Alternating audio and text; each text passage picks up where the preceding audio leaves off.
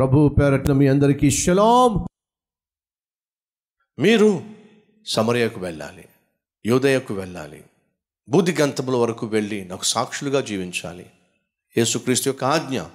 కానీ ఎరుషులేములో ఉన్నటువంటి సంఘం స్థిరపడిపోయింది ఎరుషులేములోనే వారు కలిగి ఉన్న సమస్తము సమిష్టిగా పనిచేసుకొని ఎంత సంతోషిస్తున్నారో. వాళ్ళు సంతోషిస్తున్నారు కానీ సంతోషం లేక అల్లాడిపోతున్న వారి గురించి ఆలోచించలా. వారు రక్షించబడ్డారు కానీ రక్షణ లేకుండా అల్లాడిపోతున్న వారి గురించి ఆలోచించలా.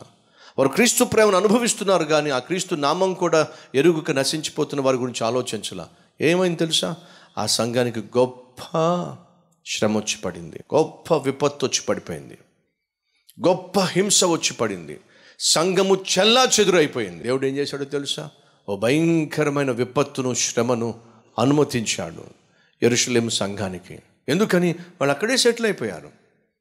అద్భుతమైనటువంటి ఆ వాక్యము అద్భుతమైనటువంటి సహవాసము అద్భుతమైనటువంటి ప్రార్థన అద్భుతంగా రొట్టె విరవడం చాలా బాగుంది చాలా బాగుంది సెటిల్ అయిపోయారు. దేవుని ఆజ్ఞను పక్కన పెట్టేశారు. ఏమిటి దేవుని ఆజ్ఞ? సువార్త ప్రకటించాలి. బైబిల్లో చక్కని మాట ఉంది.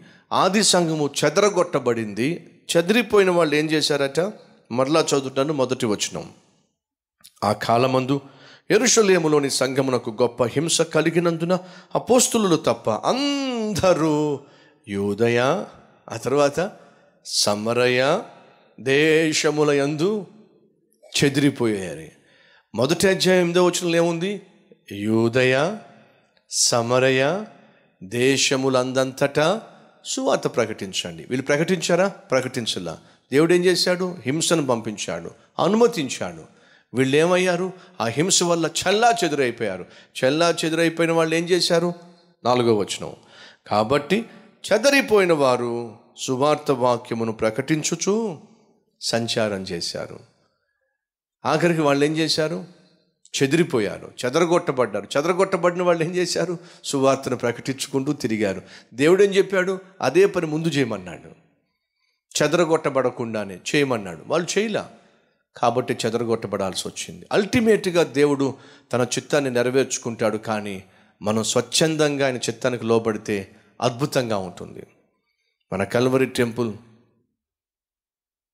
దేవుణ్ణి మహిమపరిచే సంఘంగా దేవుని యొక్క నామాన్ని గణపరిచే సంఘంగా ఆయన చిత్తాన్ని చేసే సంఘంగా ఉండాలి అంటే మనందరి మీద ఒక బాధ్యత ఉంది. క్రీస్తు ప్రేమను మనం అనుభవించడం మాత్రమే కాకుండా దాని ఇతరులకు పంచిపెట్టటము గొప్ప ధన్యతని రక్షించబడ్డమే ధ్యేయంగా కాకుండా రక్షించబడిన మనము ఇతరులకు రక్షకుణ్ణి చూపించటము గొప్ప ధన్యత అని.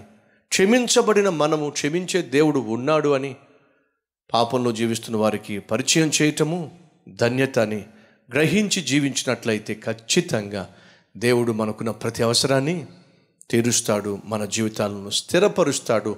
అట్టి కృప దేవుడు మనకు అనుగ్రహించును గాక ప్రార్థన చేద్దాం. ప్రతి ఒక్కరూ తలలు వంచండి. పరిశుద్ధుడు అయిన తండ్రి ఆనాటి ఆది సంఘము ఇక్కడే విఫలమైంది చెదరగొట్టబడింది చెదిరిపోయిన వాళ్ళు. యోదయలోను సమరయలోను దేశమందంతటా సువార్తను ప్రకటిస్తూ సంచరించారు. అదే పని స్వచ్ఛందంగా చేసినట్లయితే వాళ్ళు చెదరగొట్టబడేవాళ్ళు కాదు. ఆయన మా సంఘము నీ రాకడ వరకు నిలబడాలి అని అంటే ప్రతి ఒక్కరూ వారున్న చోటే నీకు సాక్షులుగా జీవిస్తూ సువార్త వ్యాప్తి కొరకు ప్రయాసపడాలి. అందరికీ ఒకే ఒక ఆశను ధ్యాసను ఇవ్వండి. ఆత్మలను సంపాదించాలి. నీ రాజ్యాన్ని విస్తరింపచేయాలి. అతి అద్భుతమైన పరిచర్యగా మందిరంగా వ్యక్తిగా మమ్ములను ప్రభువ మలచమని ఫలితంగా మాకున్న ప్రతి అవసరము మీ సమృద్ధిలో తీర్చమని. ఏసునామం పేరట వేడుకుంటున్నాం తండ్రి. ఆమెన్.